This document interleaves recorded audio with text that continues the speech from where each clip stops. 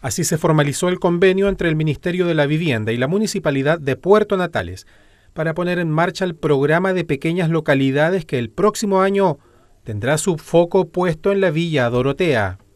Este año nosotros logramos hacer con mucho éxito eh, una selección de 17 localidades a nivel nacional.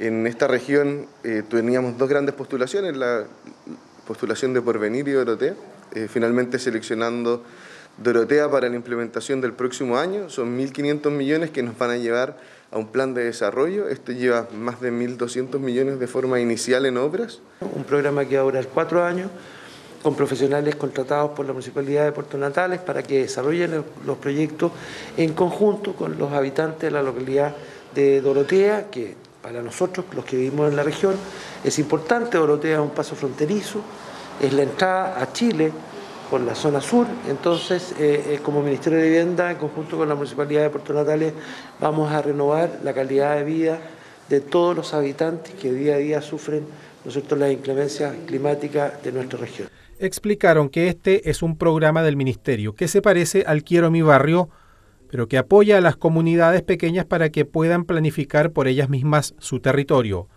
Los vecinos de la Villa Dorotea serán convocados a participar en las reuniones y en las decisiones que se tomen para esa localidad.